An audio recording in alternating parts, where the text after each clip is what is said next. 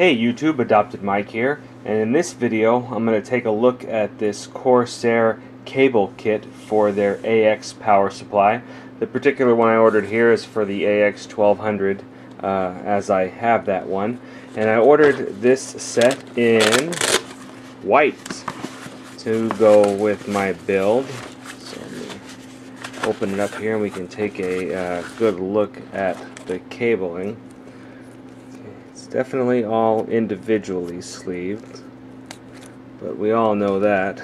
Okay, so here is the uh, 20 plus 4. So we can take a good look here, get up close. If we can get some focus. Uh, there we go. Get a good look up close how this works. Right up to the black connector. Can't see uh, any color there after the heat shrink, which is nice. Oop. Yeah, so it's pretty good. Got a nice uh, quality sleeving here.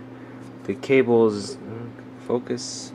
The cables do feel uh, kind of, they feel kind of stiff uh, as, as it was wrapped up. I mean, un, you know, taking the wrap off, it doesn't really, you know, but I, yeah, I imagine that uh, working with it for a little bit can get it to uh, conform. Yeah, it'll definitely uh, it'll definitely reconform however it needs to reconform. So that's anyway. I just wanted to uh, show everybody a good look on how the uh, the cabling is done in these. I ordered it directly from Corsair. I'm sure there's other places to get it. And, uh, they got a little bit of a heat shrink issue on some of the SATA here, but that's not that's not super horrible. Let's see, we got uh, 8 pin or 6 plus 2 pin, looks pretty clean.